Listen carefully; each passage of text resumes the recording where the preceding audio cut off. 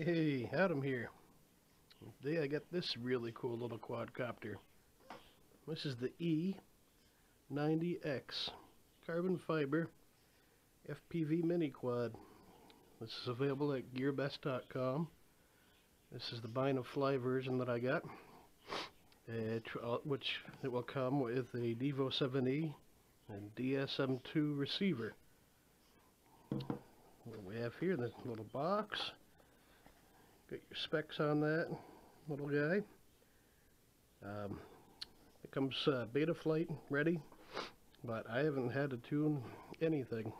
All I've done is charge it and slap the battery on underneath. It does picture, the picture of it does go on the top, but I found that it would, uh, battery wires kind of get in the way of the props. So I tried it underneath. It also seems to help with landing because the landing, it's got little landing feet there on the frame, but they're about even with the motors. So you could hit the motors on a land and the battery's kind of stopping that from happening. It does flop back a little bit when I land, but that's alright. Prop guards come off. I just stuck them on for inside flying because it's cold out and I'm liking to be able to fly it inside very enjoyable. So come with it does come with extra props. I knocked one off. So it's got a couple different colors. It's got the whites, the reds, the orange. Open the box up and see what else. Yeah, and black. And it doesn't come with much else beyond that. Little brush quad I didn't mention that. Yes, it's a brush motor quad. And uh, little 3.7 battery.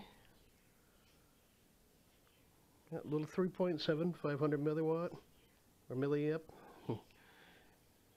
and uh, I guess that's not much more to say except to get flying. Here we go. Alright. Outside flight in with a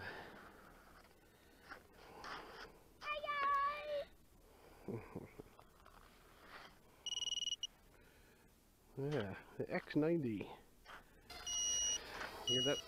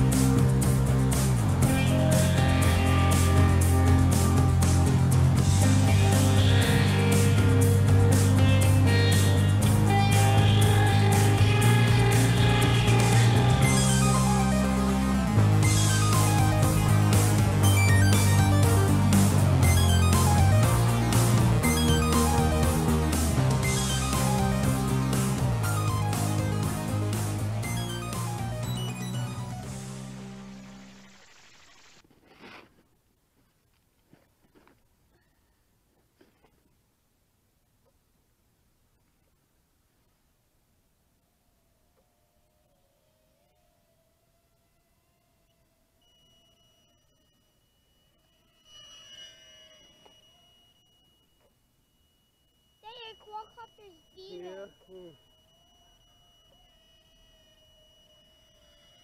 does it mean when it's Little That battery. Huh? Little battery. dead?